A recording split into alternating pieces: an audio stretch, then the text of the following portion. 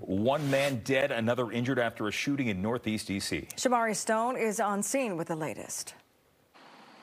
Good evening. I'm here at Marvin Gaye Park, and it's part of the community. It's where people come to have picnics, spend time with their family and friends. Men even come right here to this table and they play chess, talk about life. But tonight there is a murder investigation here, and D.C. police are still on the scene right now. You can see this police cruiser is here as that officer walks across the street, and there's an officer right now in that vehicle. And you move a little to the left, you can see police officers still walking in this park, gathering details details, looking for answers, gathering evidence as they investigate what happened. Let's roll some video. Police drove to the park after the shots rang out on the 5200 block of Foote Street Northeast around 4.30 this evening.